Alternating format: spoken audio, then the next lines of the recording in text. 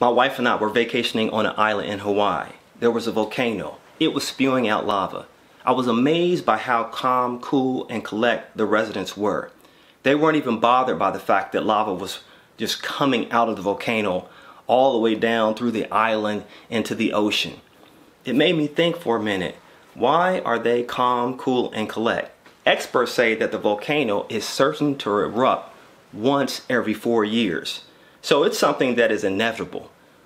I'm a natural warrior, and if you're like me and you worry about things that are going to happen that are out of your control, I have a solution for you today that will help you to break that habit of worrying. Stay tuned, next cue.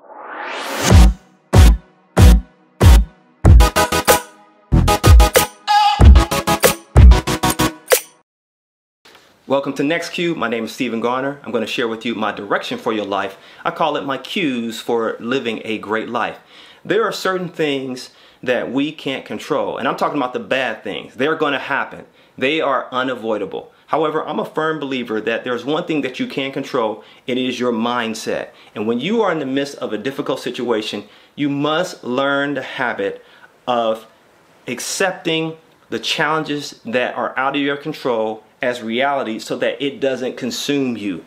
In fact, I learned this lesson from Dale Carnegie's book, How to Stop Worrying and Start Living. And he says this when it comes to dealing with things that are certain, that are difficult, that are challenging, like the pandemic or the economic crisis that we're dealing with, or the difficult people that you deal with every day, the one thing that you must do is cooperate with the inevitable. Listen to this quote from his book. We can either accept them as inevitable and adjust ourselves to them, or we can ruin our lives with rebellion and maybe end up with a nervous breakdown. God forbid that we would have a nervous breakdown because we have not learned the habit of accepting the inevitable. In fact, when we accept the inevitable, when things are out of our control, when we can't do anything about our circumstances, I'm not advocating that you don't try to change your situation. I'm not advocating that you don't work hard to make your life better. What I'm saying is, is that when you are dealing with something that is certain, that is problematic, that is challenging, however you want to describe it, you can't change it. You need to accept it. And at that moment, that will help you to break the habit of worrying about something that you just can't do anything about. Trust me, I'm guilty of it. Learn to accept the inevitable.